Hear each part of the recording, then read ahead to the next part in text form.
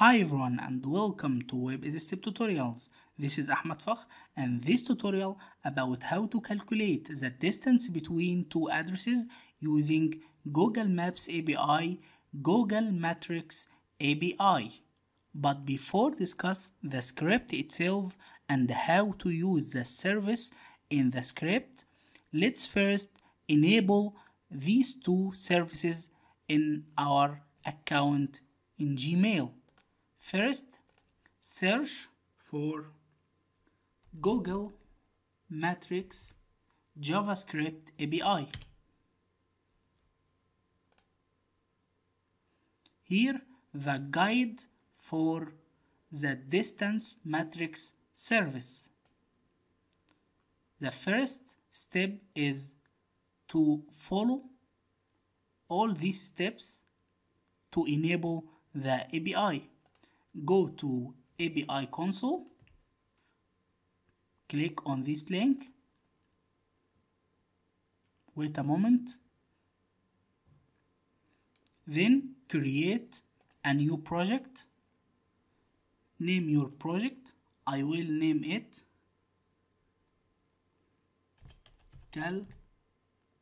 calculator calculator and create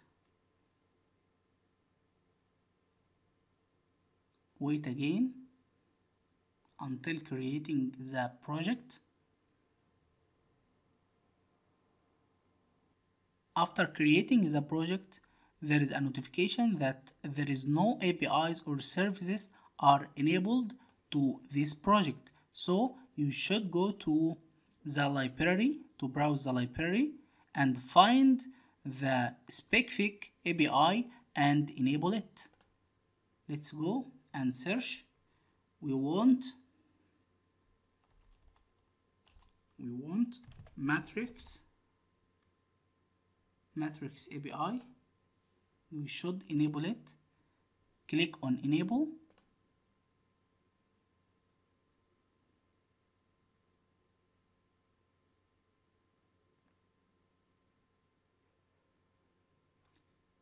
yes it is enabled now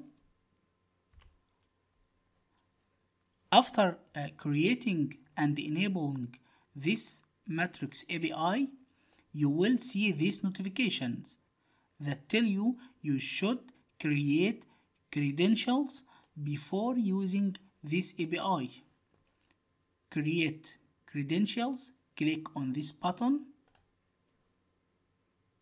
Now, after creating the credentials, it will tell you to find the appropriate way to access the API. As you see, there is many ways to do that, but we use API key to access our service. So, open it in a new tab.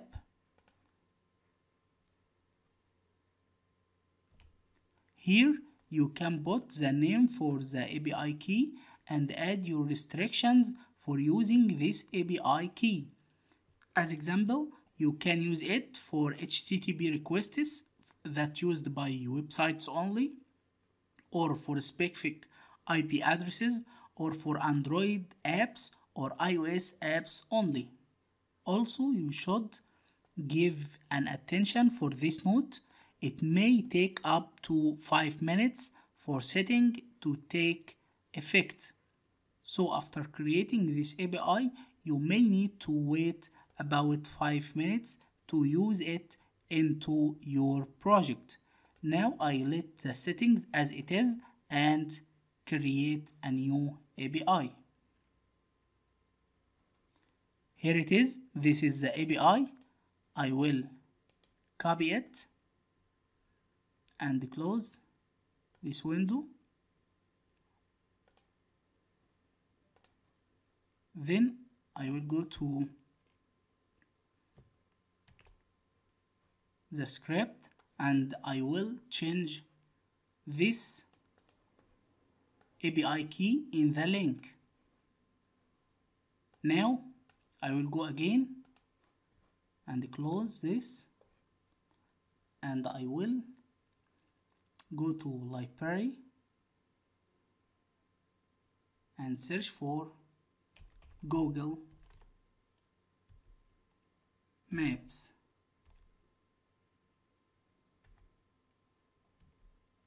API Google Maps JavaScript API I. Will go here. And enable it. Then after enable the Google Maps JavaScript API let's go again and enable Google Places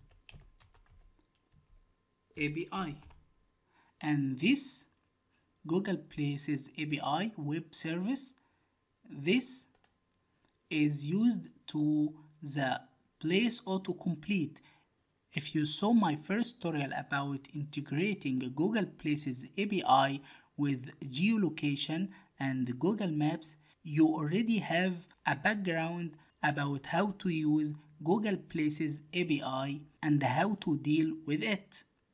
Now let's enable Google Places API and I will put the link above this tutorial to understand them well. Now after enable it, let's go to our example. First step is to load jQuery library and the Google Maps API and include the library places and the language is English and the key that we get from our API in the account. Then we load the bootstrap min.css to add some styling to the script. The first we have a container. Into this container we have a form and a result. Let's focus on the form at first. In the form we have a four inputs. The first input and the third input used only by the Google Places API to support the auto completion. So we can't use it to set the data. For that we have two inputs again that used by the JavaScript the jQuery to set the data as you see here when I search let's open the inspector and see here. Here as you see there is a form places and two places. Let's search for MonPay when I click on MonPay see what happened here it set the location on the origin hidden input and I do this by using this listener and this listener.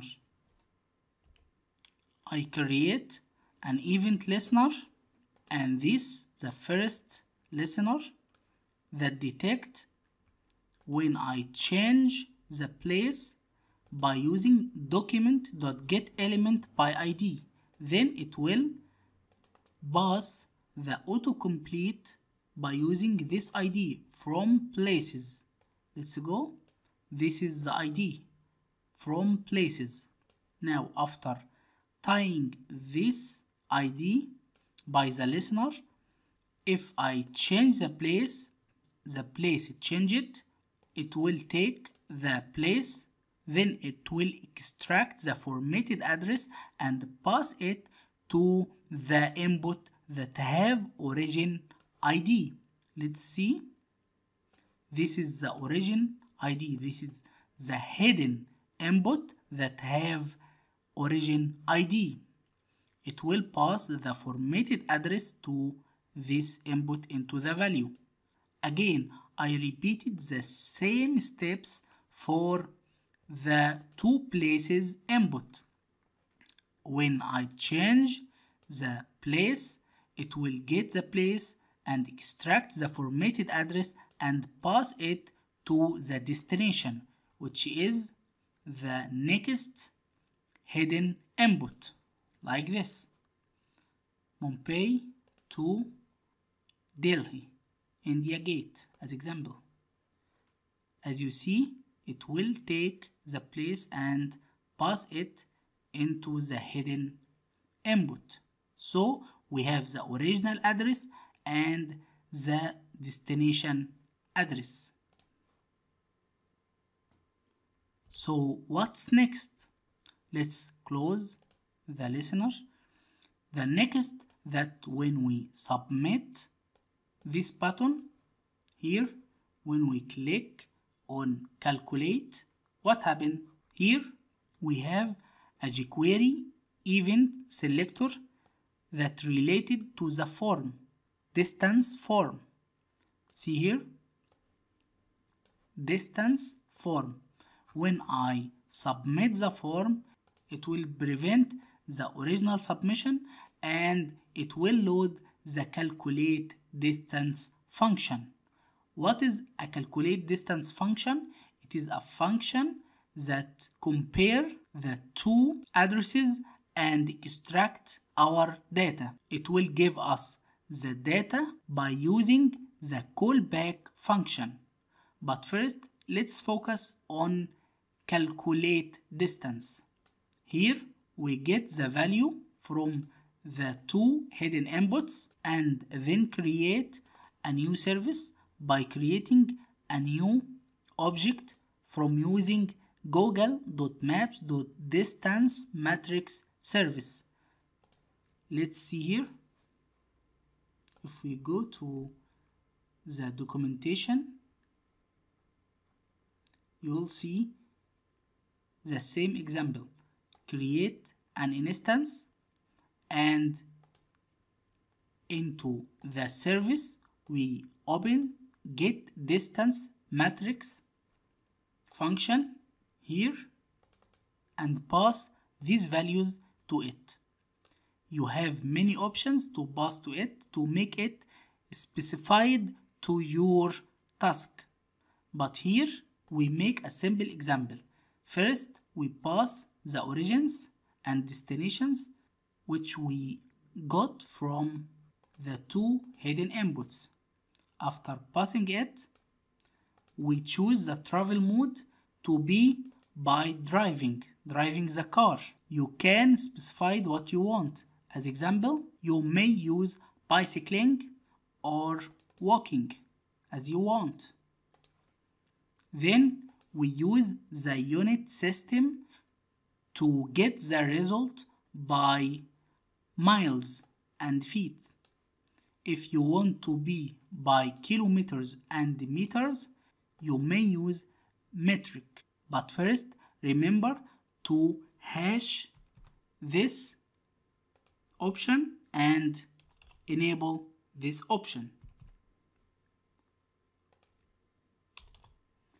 After this, we disable the avoid highways and avoid tolls.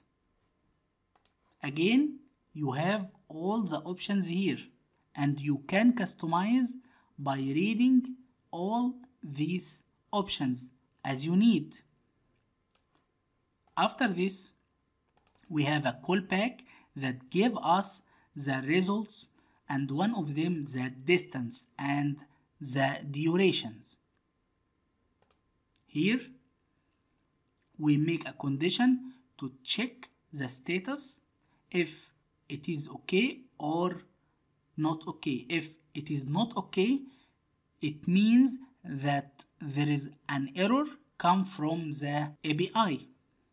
If not, here we extract the original address, the destination address, and we check if there is a result or not. If there is not a result, we send this message. Else, we get the distance and duration by extracting them from the response. And we take the distance value and divide it by using 1000. This calculation for the kilometers and this calculation for the mile. So if you want the value to be in kilometer then use this calculation. If you want it to be in the mile use this calculation. Then there is a duration text that it calculated by default by using the service.